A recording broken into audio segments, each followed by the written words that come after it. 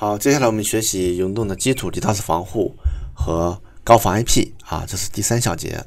在学习两个产品之前呢，我们需要了解一些安全相关的概念，比如说我们最基础的叫基础运营商，那在中国的话就是联通啊、电信和移动三大运营商，基础运营商。除此以外，其他一些还有一些民营的运营商，比如像世纪互联啊、啊彭博士啊这些运营商。那当然还有虚拟运营商啊，这里面我们打交道最多的是基础运营商，还有骨干网啊。第二个概念，骨干网呢，即一般是指这个城域网，或者是国家啊建设的整个整个的省域网，或者或者在全国的呃跨省的一些互联的线路。IDC 数据中心，那么指的就是一个机房。一般叫 IDC 数据中心，比如说北京有好多的数据中心，那么有可能是在啊某一个基础运营商。通常情况下，一个数据中心的这个带宽都会来自于其中某一个或多个基础运营商啊的线路。BGP 啊这个概念叫做边际网关协议，那其实我们看到很多机房说号称是 BGP 机房，是什么概念呢？就是说啊这个机房呢会和同时引入电信、联通。啊，甚至移动的这个线路啊，甚至还有更多民营 IDC 的线路，自动去路由啊，选择离到用户最快的线路去通信啊，边际网关协议啊，比如说我们从北京啊访问广东的这个机房，那么我们知道北京是联通的线路占多一些，广东的话呢是电信多一些。那其实如果用传统的单线机房的话呢，会导致跨运营商访问啊速度会比较慢。那么如果有 BGP 的线路的话呢？他会怎么办呢？他会选择调先找一条这个最近的路线，比如先先到达某一个中心节点，用的是联通线路，那么会切到电信线路上去访问广东的机房，那么最终会用户感觉到呢是啊非常的快啊，其实他不知道，并不会呃了解最后后面的细节是从哪访问的。总之，我们说 BGP 这个线路的机房呢，应该会比普通机房对用户的感受会更好，访问速度更快。当然会，这个造价也会比较高一些。那么第五个概念就是 A B T，这是阿里巴巴自建的一个骨干网络。那么整个从阿里巴巴经营，从淘宝开始，支付宝、阿里云，那么建了很多的机房，曾经以前也是租的机房，那么现在是自建机房。那么很多的机房之间进行了一些整个的大带宽的光纤的互联，啊，已经列车了覆盖啊覆盖大半个中国的这个骨干网络。那么为了用户提供非常良好的一个传输体验，那么在 A P T 内部，我们都叫做内网啊，内网传输啊，基本上能到千兆级别。接下来会讲几个呃关键的设备啊，路由器，互联网的路由器非常关键啊，也是机房里面有路由器。那么路由器主要解决的问题就是说，两个大网段或者是大机房之间啊进行通信，不同路路由之间的选择，就像我们在实际交通过程中的一个十字路口一样啊，北京开车到杭州。那么到了每个地方啊，交叉路口都会有导航告诉我啊，下个路口是从哪啊，别拐。那其实路由器承担这样就是这样一个角色。那交换机一般情况下就是在同机房内，路由器下面会挂很多交换机，在同一个网段或或者不同网段之间啊比较近距离的快速交换数据这样一个一个一台设备啊，有核心交换机，有底层有有下层交换机啊，都是做这个事情的。那防火墙呢，就是保护啊整个机房或者一个网络单元的安全。啊，防火墙有很多种，网络层的防火墙啊，三层防火墙，有应用层的防火墙啊，七层防护啊。其次，我们讲到的那个后面讲到那个外部应用防火墙啊，WAF 其实就是一种防火墙。啊，安全策略就是说我们在啊整个防火墙交换机上面可以配置一些安全的规则。那通过这些规则可以啊允许啊某些 IP。或者某些用户来登录，拒绝某些 IP 来登录啊，这样的一个规则。那么整个这些这些概念，大概大家有个了解的话呢，对后面的这些产品的理解啊，会有很大的帮助啊。接下来我们在讲这个 DDoS 产品之前，我们想看一下 DDoS 攻击是什么。DDoS 攻击呢，其实它这个是几个英文的单词的缩写，全称叫做分布式拒绝服务攻击。这个黑客呢会。封在好多的地方啊，看不到的地方，那然后就一起对某一个服务器啊发起访问，会导致这个服务器的能力过载啊超大啊，最后呢导致无法响应，这分布式拒绝服务攻击。最终，当这个用户感觉来说好像这个服务器已经已经没有反应了，那其实是被黑客的流量啊完全都占满啊，去导致了这个服务器瘫痪那么其他主要的攻击目的是让服务器呢无法提供服务，是目前比较比较强大，然后比较难防御的一种攻击。其中呢，最近几年出现了一个这个 DR DDoS 啊，就是啊分布式反射攻击，让这个防御的这个难度更大啊。反射攻击就是说啊，黑客可以用非常小的成本，然后呢获得最一较比较大的一个攻击的一个一个威胁的呃程度，比如说。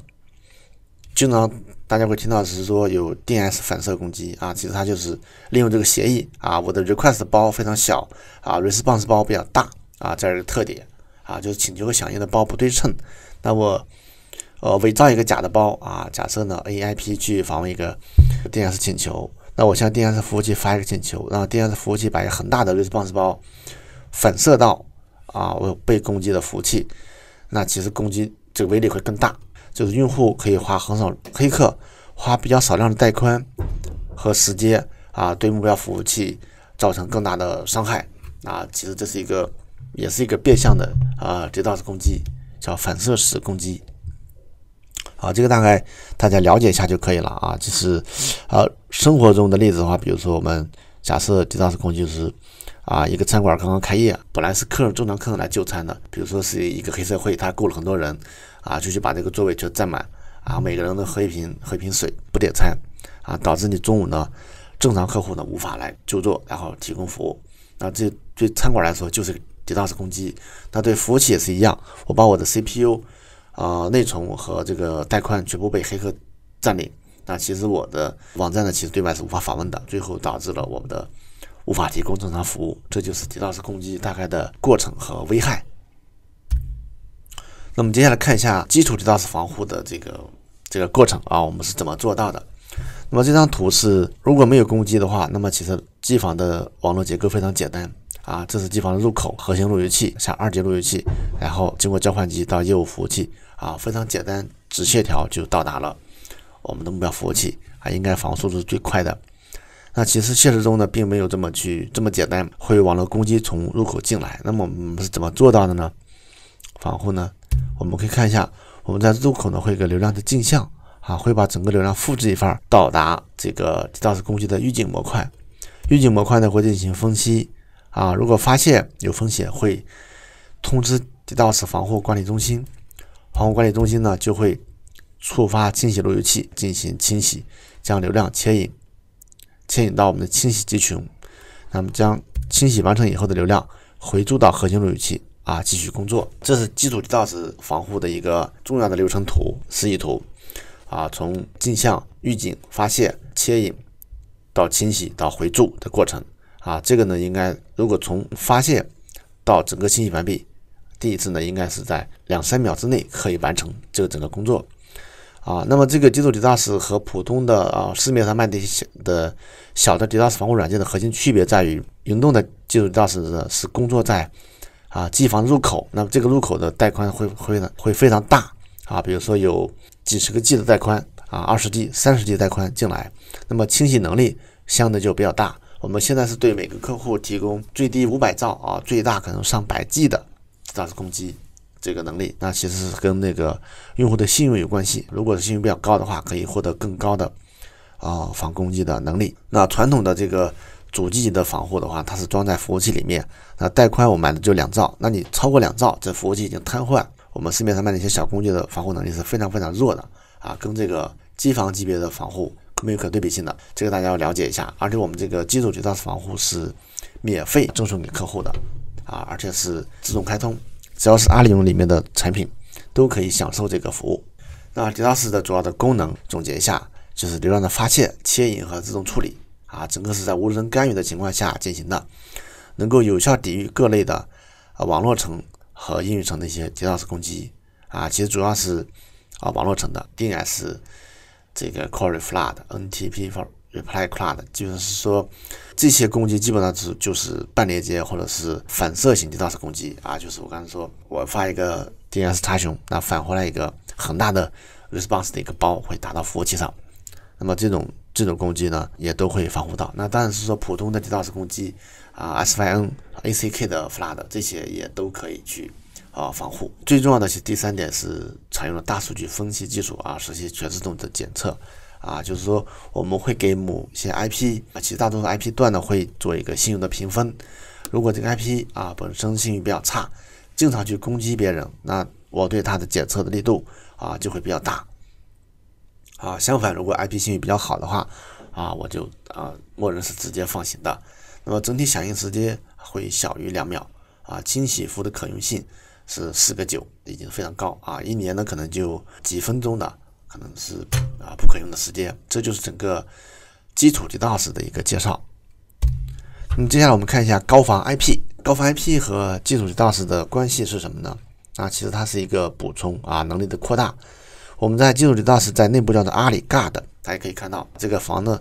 黄色的方框是整个的阿里的机房，在机房入口这边有叫阿里 Guard，那它进行一些流量这个牵引啊、回注啊，在机房内部进行防护。但是说如果从外面的攻击来特别大，如果超过一百 G，那我们可想，如果我们的机房的带宽二十 G，啊，入口已经被堵掉。这个地方，这个蓝线条已经被堵的话，那其实不可能我们阿里干的还会发生作用，因为它已经不工作了。那其实是说高防 IP 推出这个产品呢，其实目标就是我们能够为客户提供更大规模的